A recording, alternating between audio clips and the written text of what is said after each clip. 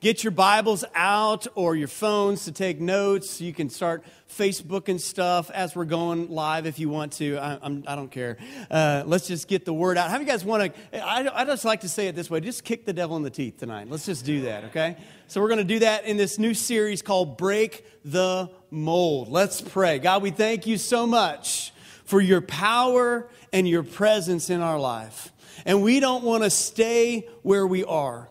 And so, Lord, I thank you so much that we're not just dependent upon our own strength, but we can walk in your power, in your freedom. And I declare that out loud right now in the name of Jesus tonight.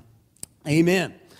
Second Corinthians chapter 2, verse 14 and 15, uh, or maybe that's, tw- I've got, maybe that's 12. I, I don't know. I've, it's been a long week, guys. Okay, let me just, I'm going to read this scripture, okay? But thanks be to God who in Christ always leads us in triumphal procession and through us spreads the fragrance of the knowledge of Him everywhere. Eh, for we are the aroma of Christ to God among those who are being saved, among those who are perishing. Do you, do you ever think about, I think about this in weird ways. What do you smell like? I, I, mean, to God. See, we are the aroma, we are the aroma of Christ to God among those who are being saved. Now, that's a very interesting scripture right there. What's the aroma? What kind of aroma do we carry? And, I think a lot of that aroma happens by how we see ourselves in life, by, by what we allow ourselves, what culture comes in our life. How many of you guys know, you ever met somebody that it seems like everywhere they go, there's conflict. If you guys know what I'm talking about, everywhere they go, no matter what situation, no matter what church, no matter what uh, relationship, no matter what job, there's conflict. How many of you guys know somebody like that? If you don't know somebody like that, you're that person, okay? you just are, okay? Just know it. Everybody else knows it, you just don't know it. Uh, but everywhere you go, listen, if everywhere you go there is conflict, if everywhere you go there's a problem, the com- common denominator is not everywhere. Does anybody follow me? The common denominator is you. It's because there's an aroma that you carry, and it may be negative, it may be positive, it may be Christ like, it may not be. And so we carry an aroma around us, and so many times we get stuck in a certain place in life. And we just think, well, this is just the way that I am. This is just who I am. This is just how I, this is what my personality is. This is just how, this is how I grew up. You know, I, I'm this, this heritage or that heritage, or this is my family, or that came from my family. And we get stuck with a lid on our life. How many guys ever felt stuck with a lid on your life before? That, two people over here. Okay, we'll just preach over this direction then. All right. I, have been there, and, I've, I, and you kind of settle in to whatever that is. Now, you might say, well, okay, so who cares if I've got a lid on my life?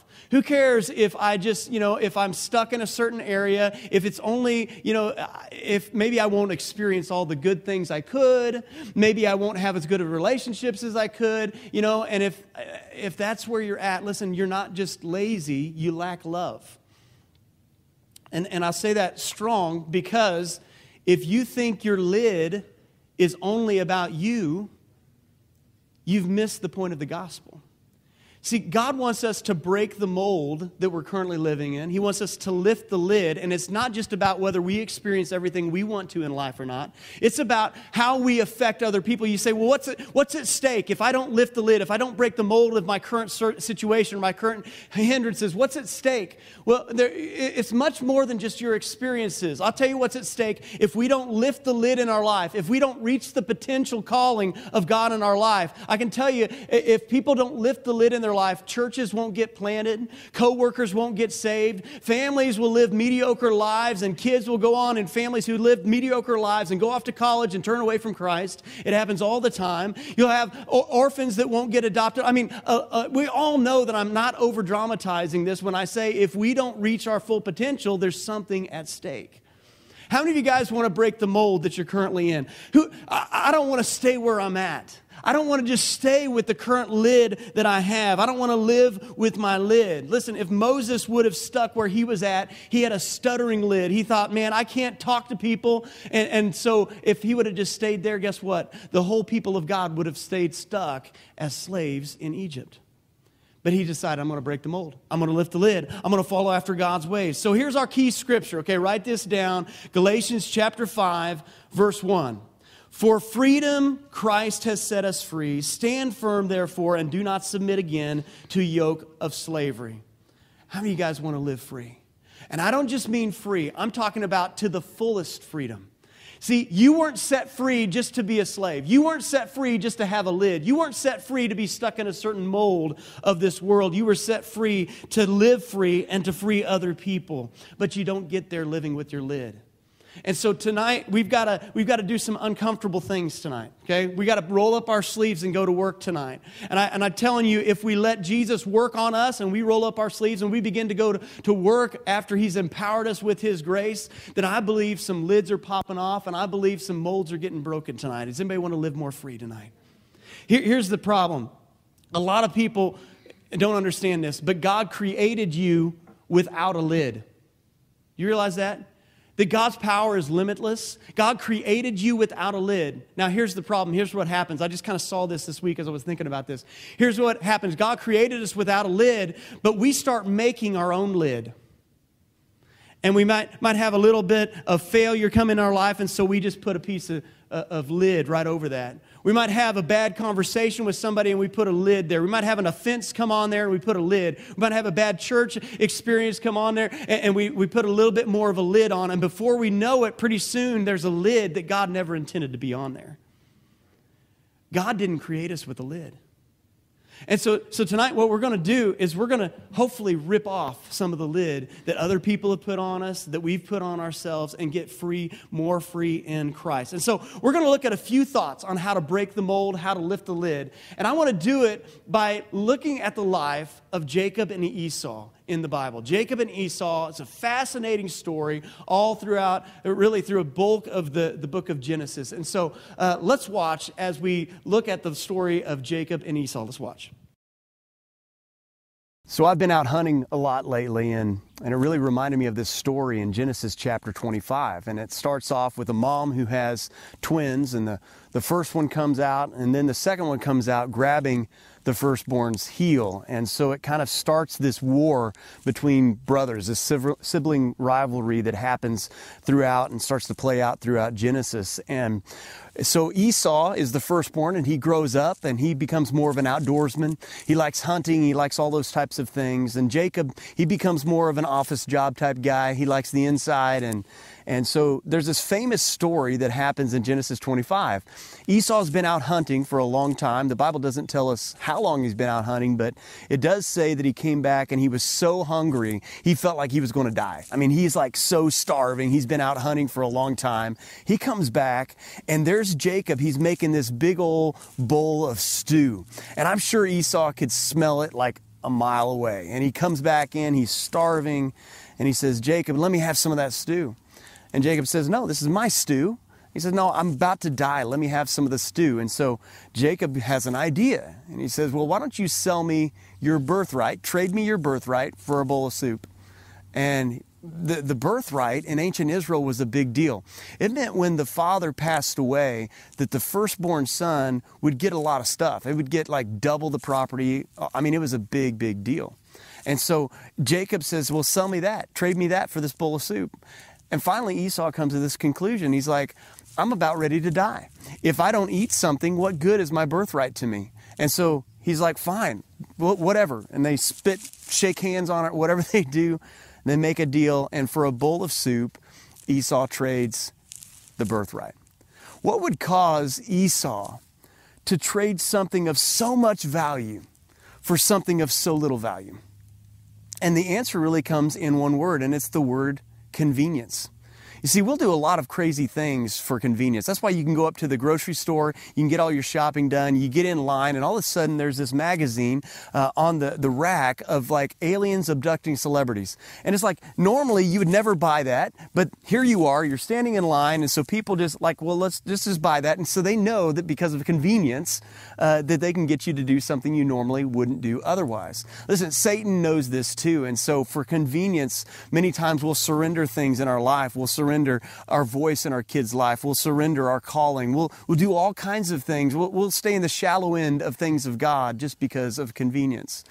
And so here's break the mold thought number one be careful what you surrender for the sake of convenience. Some things we're typically uh, leaning to surrender are things like our integrity because of convenience, things like our identity because of convenience, things like our influence because of convenience. You see, Jacob didn't steal uh, Esau's birthright. The Bible says that he basically surrendered it, he despised the birthright. And Esau had inverted values. Something that was of so little value in the long term, like a bowl of soup, became of immense value in the now. And something that had great value long term, all of a sudden had very little value to him now. And so it was easy for him to surrender for the sake of convenience. So the question today, it, it, it's not what are you surrendering for God? It's really what from God are you surrendering? Be careful what you surrender for the sake of convenience. And when we surrender things like that, guess what happens? The lid, it keeps coming on us. It's like laying on another layer of the lid. Be careful what you surrender for the sake of convenience. Do you realize that history, according to ancient Israel and the way things work, history, you hear all the time Abraham, Isaac, and Jacob. Abraham, Isaac, and Jacob. Do you realize it was supposed to be Abraham, Isaac, and Esau? Abraham, Isaac, and Esau. Now, isn't that interesting? Isn't that interesting? What changed there? Say what you want about Jacob acquiring the birthright. You can say he stole the birthright. You know what it seemed like? It didn't seem like God minded that much. Because God allowed it for all history to be Abraham, Isaac, and Jacob. And, and, and, I just wanted to get this out there tonight because some of you feel like, a, and I, am going to say this, it's going to sound weird, but some of you guys will kind of get what I'm saying. You feel like a second born. You feel like you're maybe not quite coming, measuring up, or you don't have quite the advantage that other people have, or you might, you might feel behind the eight ball, you might feel behind the game. But I, I just want you to know that we serve a God. We serve a God, a, a, a second, you may be a second born type person, but you can still have firstborn blessings type of God. And somebody needs to have that deep seated in your heart right now because you've taken on a victim identity. You've taken on an identity of somebody who's less than, somebody who's not enough, somebody who's always coming in last, who's always coming in second, and is always coming up short.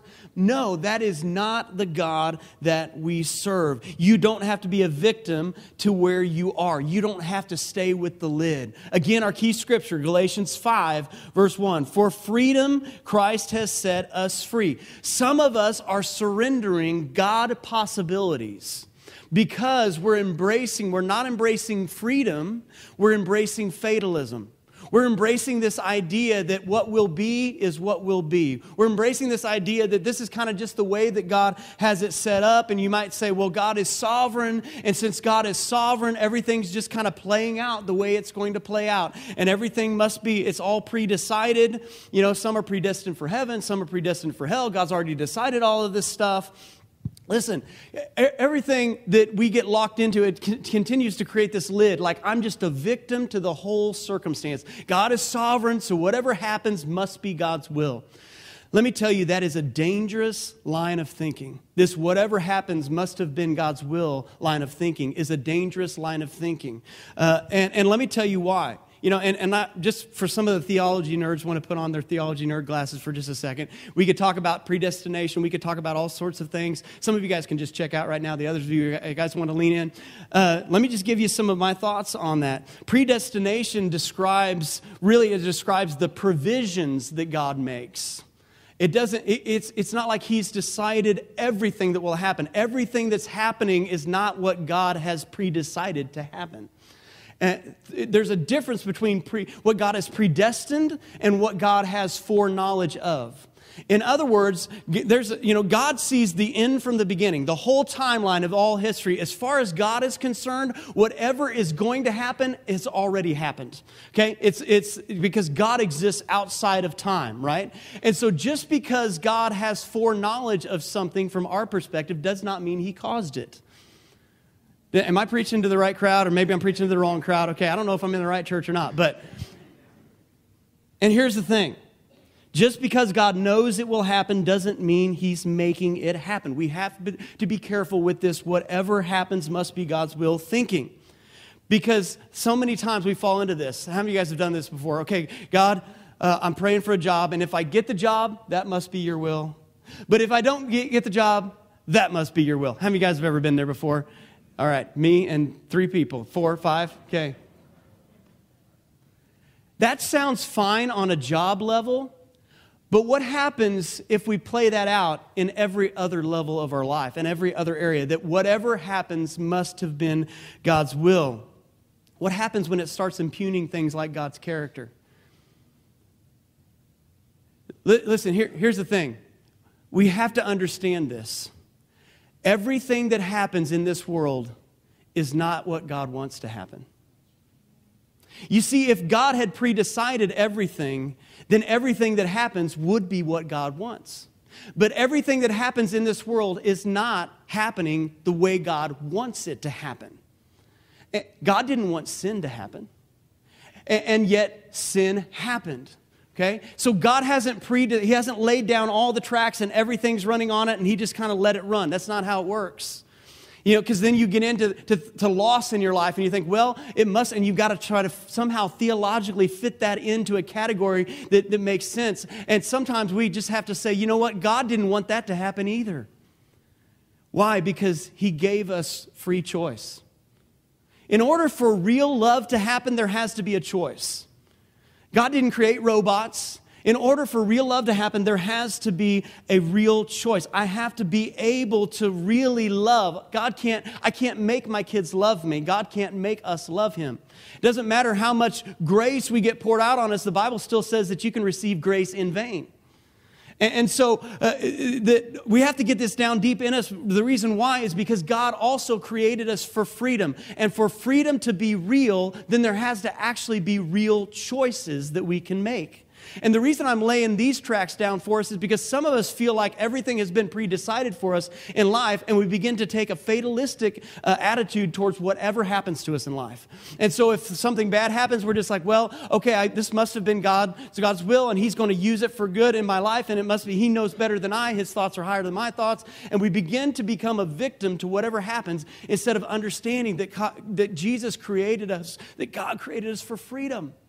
And if there's freedom, that means we're not predestined to whatever happens to our life. We have a part to play in this. And so I love this quote that I heard. It was, it was a guy uh, lived a, a, while ago, and he was like into wildlife and conservationism or something like that. But he said this. He said, "To what avail are forty freedoms if there are no blank space on the map?" In other words, if there's nowhere to use our freedom, then what good is freedom? I want us to understand tonight that God created us for freedom. And for freedom to be real, that means we have a part to play in it. That means we have choices that we can make. That means we aren't victims of our lid. That means that everything that happens in our life is not somehow ordained by God. That there are some things in our life that happen that God didn't want to happen either. And because of that, we've got to continue to understand and exercise and walk in freedom. I got one person amen to me over here. Okay, I'll take that. the rest of you are free to leave. Um, it's just the way God said it. I mean, I just set it up that way. Here's the good news you have options. No matter where you're at right now, no matter what's happened to you at this point, you don't have to just play out and continue to be in the same mold that you've been in. Jesus has given us freedom. It was for freedom that he set us free. And no matter where you're at tonight, no matter what's happened to you tonight, everything that's happened in your life is not what God has wanted to happen, but I tell you what, there's power in Jesus' name for us to turn the thing around, for us to step into a new level of freedom. And so to do that, we got to understand a little bit of the why behind this. And to do that, we got to continue the story of Jacob and Esau. So let's watch. So there's another famous story about Jacob and Esau in the Bible, and Esau being the firstborn, even though he's already sold off his birthright, there's something else that being the firstborn you would get as being the firstborn. And, and when the father, the patriarch, would be ready to pass away, he would bestow a blessing upon the firstborn. And so Isaac, Jacob and Esau's father, says, Man, it's about time for me to go. He was basically blind he calls in Esau and he knows his days are numbered. And so he, he says, Esau, I want you to go out and I want you to go kill one of your famous game, game meals and bring it back for me one last time. And so Esau gets all of his gear gathered up. He goes out hunting and so Isaac and Rebekah, the, the parents, Isaac really had his favorite, and it was Esau, and Rebekah had her favorite, and it was Jacob. And so Rebekah overhears all of this, and she really wants Jacob to get the blessing, even though he's already got the birthright. She wants him to get the blessing as well. And so she she devises a plan. She says, Jacob, why don't you go and make one of your famous meals and bring it into your father so you can get the blessing? And Jacob says, but I'm remember I'm office guy. He's outdoors guy. He smells different than I do. He's all hairy and I'm really smooth skin. And so she comes up with a plan to put on Esau's clothes for him and to put some fur on his hands so he feels a little more hairy like Esau does. And sure enough, he goes off and makes his meal and brings it into the father. And and the father's getting ready to bestow a blessing, but he says, are you sure you're Esau? You sound like Jacob. And so he goes over to him and he can't see, but he can feel. Okay, you feel like Esau, you smell like Esau. And so he commands a blessing over Jacob. And no sooner than Jacob walks out, Esau comes back in with, with his meal. And, and the father says, Wait a minute, I just blessed somebody. Who did I bless? And, and they finally figure it out that Jacob had, had tricked them. And, and here in this moment, uh, finally, Esau realized that he had lost who he was supposed to become. And this is break the mold thought number two. Who you're becoming is more important than what you're doing. Who you're becoming is more important than what you're doing. You know, when I, I, used to be on staff at a large church, I was a youth pastor of several hundred teenagers. And when I left that position, I had an opportunity to go and, and work even at a bigger church. I mean, it was, if I were to tell you the name, it's, it's one of the fastest growing uh, in, in the nation. And as I was considering that, I decided not to even consider it. And it's because even though I'd have an opportunity to do a lot of amazing things, to do a lot of cool stuff, who I'd have to become to do that, to be a part of that environment, was not worth it. Because who I'm becoming is more important than what I'm doing. There's a famous quote that I like, uh, that I've said a lot of times, and, and it's this You can teach what you know, but you reproduce who you really are. You can teach what you know, but you reproduce who you really are. See, who we're becoming is more important than what we're doing. The world gets this all wrong. And usually, and a lot of us, we get it wrong too. We, we end up allowing what we're doing to turn us into who we are instead of deciding that who we become should decide, who we're becoming should decide what we're doing. See, we've got to switch it back around. If we want to break the mold, we have to go away from the world's ways that says what I do turns me into who I am. And we've got to decide who do I want to be? Some of you are at a fork in the road in life right now, and you're trying to decide between A and B. And it's not what do I get to do? What awesome things do I get to do if I do A or B? It's really what kind of person do I become if I go down this path over this path? Who we are becoming is more important than what we're doing. So Esau uh, goes out hunting, he loses his birthright. He goes out hunting, he loses his blessing. I'm thinking, what does Esau's wife think about this? Esau, every time you go out hunting, something bad happens. Stop going out hunting. and this could be a biblical case for wives who don't want their husbands to go out hunting. I hope that's not the case, but but I just thought that was kind of funny. Uh, who you are becoming is more important than what you are doing. Listen, tonight what we're going to do is we're going to reimagine our life for just a little bit. We're going to reimagine our life because we're not a victim of what's happened. We're not a victim of everything being predecided. We are going to reimagine our life tonight with the help of the Holy Spirit. And, I just want you to think about this. Uh, some of us feel stuck, maybe in our job, we feel stuck in our career, we feel stuck in our family situation, whatever it is, we, we feel stuck right now. But through the power of the Holy Spirit, you can imagine a brand new way of thinking, a brand new life. I was thinking about my, my brother Jake. I was out hunting with him this week, and he didn't steal anything from me, by the way.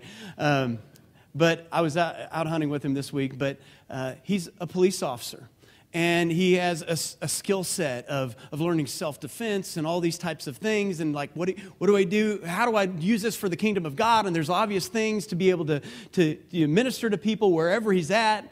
But god also caused him to have an idea to break out of the mold of the typical thing of where he was at. And God gave him a creative idea. And he began to link up with missionaries and, and to begin to go out on the mission field and begin to train pastors in, in situational awareness and be able to train them in dangerous parts of the world where they're having to you know, be in underground churches and all sorts of things. And so he's been basically in the last couple years, basically all over the world, helping pastors and local pastors, being able to train them through a unique skill set that I don't have and most of us don't have. God gave him a creative way to reimagine how he could use his life for the kingdom of God. And so tonight, I believe that God can give us those ideas, that God can give us ideas just like that. Francis Chan asked a question uh, one time, and he, I thought it was a brilliant question. He asked this question If God had his way, what would the church look like? I mean, if God had his way, what would the church look like? I thought that was an awesome question. Now, let me just personalize this for us this evening. If God had his way, and this is break the mold thought number three, if God had his way, what would your life look like? Yeah, but, but, but what about, no, I'm saying if God had his way, if you can just take off the lid for just a little bit, if God had his way in, his, in your life, what would your life look like? What things would be different? If you add the God, if God had his way, reimagine it through the eye of faith. Rip off the duct tape just a little bit more tonight.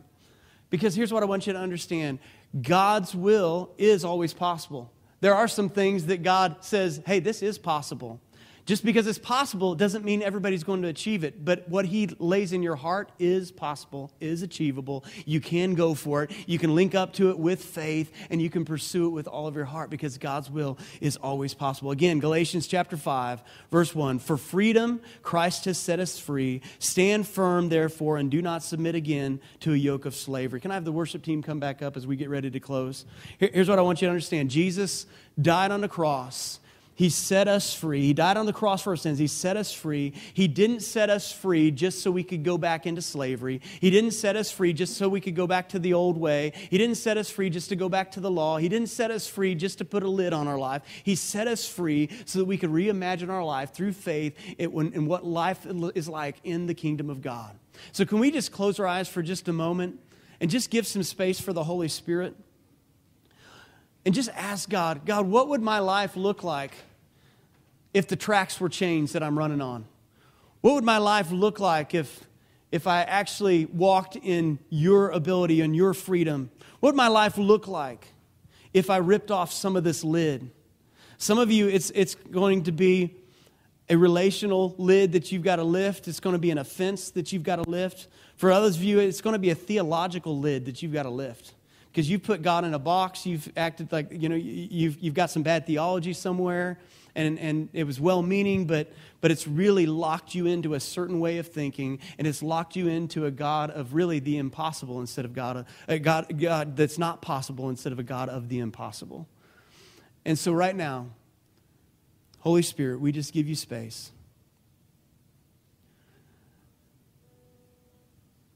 And we ask you right now what would our life look like if the lid came off, if the mold was broken? If the current mold of the world or the current mold of the eyes of other people, what they think I ought to look like, was broken off and I could walk in true freedom? Some of you might see, begin to see things right now through the eye of faith. Many of you are probably going to not be able to even put your finger on it, but you'll feel something different. And I, the reason I say that is because the way the Bible describes it is kind of an aroma about us. And you, you might even be able to sense what that next level will be like. You might even be able to just kind of step into there just briefly by faith and be able to imagine what life is like with no lid in freedom.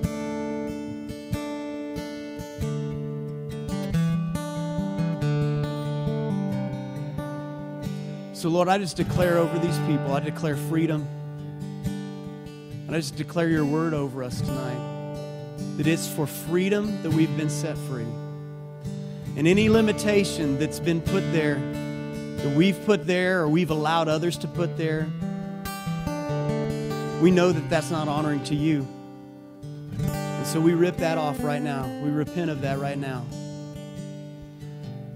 And Lord, I ask right now for a, a fresh, fresh eyes, a fresh culture around us, a fresh aroma about us.